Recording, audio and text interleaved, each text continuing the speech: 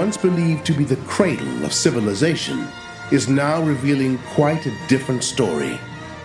According to the sacred texts, many advanced beings left Atlantis after its destruction and traveled about the world to spread the benefits of civilization to mankind. The first pharaohs, Ptah, Osiris, and Thoth, built the pyramids in Egypt and handed down the secret teachings to pyramid guardians they called Djedi. These Jedi were part of a very ancient path and guardians of sacred knowledge. They were specifically chosen to safeguard humanity during the coming Dark Age.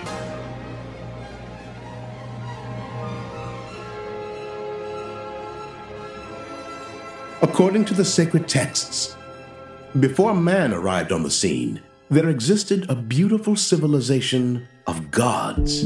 These higher beings reigned in Egypt thousands of years before man. They were the primordials, said to have originated on Earth and actually dwelled in Heliopolis for a total of 13,870 years until the time that the human pharaohs took over the rule of the earthly kingdoms.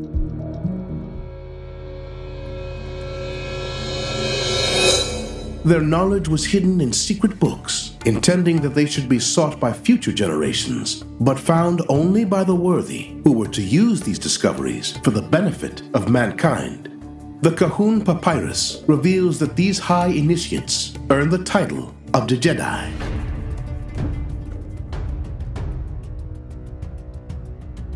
These sacred texts reveal that Thoth was the master teacher of a group of magi identified as the Jedi. Thoth handed down the teachings of an ancient order of warrior magicians. These Jedi were an elite esoteric order in ancient Egypt with a lineage that descends down throughout Europe and the world. The way of the Jedi is the way of the Force, which pre-existed George Lucas and the epic Star Wars saga. Ancient Egyptians, Sufis, and Knights Templar mastered the way of the Djed, Kundalini, or life force. The Jedi mastered advanced healing arts, martial arts, and they could manipulate matter with their own mind. They have reached a sublime state. In Buddhism, it is described as the highest state of awareness and concentration. This was the path of the Jedi Masters. They chose to carry the torch that Thoth handed down and help the human race to evolve into a higher consciousness so that one day we will be able to crack the secrets of the pyramids and decipher all the clues about ourselves that the ancients left behind. Thoth and many other Jedis are depicted in the many frescoes around Egypt, holding magical tools, scepters, ankhs, and Djed pillars. Like in Star Wars, these Djedi of ancient Egypt wielded tools of immense power. They were the gods of legend who had supernatural powers and were able to float massive stones through the air. The appeal of Star Wars and the similarities of the Jedi and Jedi is no coincidence. George Lucas was inspired by Joseph Campbell, who brought us the hero's journey, the path that all initiates take on their way to a higher state of being. This is synonymous with all the ancient stories of legend. In the Hindu philosophy, love is the divine power of attraction and creation that harmonizes, unites, and binds us together, analogous to the Force in Star Wars, which has both a light side and a dark side.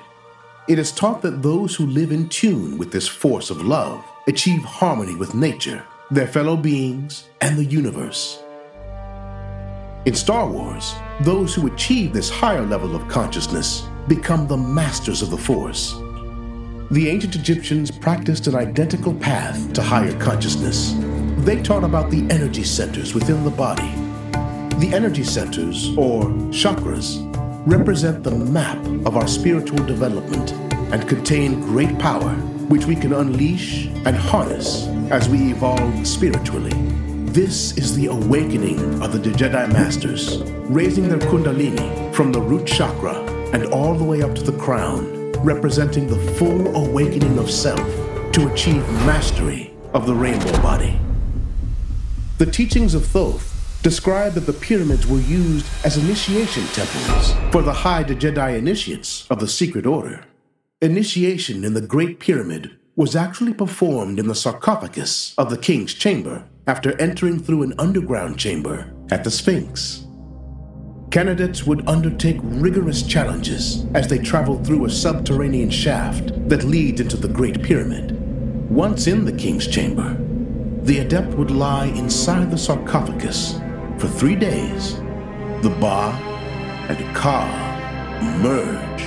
This was the final awakening of the Jedi Master. The ancient Egyptians believed that the pharaohs were one day destined to ascend to the rank of the gods and be like the gods and goddesses. A belief that stemmed from the old high priest initiations in the Great Pyramid long ago. Over time, the later Egyptians misinterpreted the ancient hieroglyphics written on the temple walls and took a more literal translation. The first pharaohs, Atlantean high priests, underwent initiations in the Great Pyramid to merge their souls with divine intelligence to become ascended beings.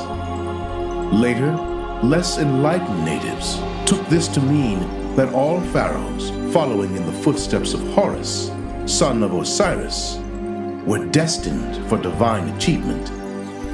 The Force is the light, the Force is the dark. The Jedi chose the light for all it reveals. The Jedi are the guardians of civilization, yet do not allow civilization to destroy needlessly. If your feelings propel you forward to follow the path of the Jedi, then you are being called. Clear your mind. The whole universe is contained within you, and you can tap into this power. Fear nothing. Hate no one. Give love to all. See this love in everyone. The Jedi mission is to revive the dormant living force inside every living being.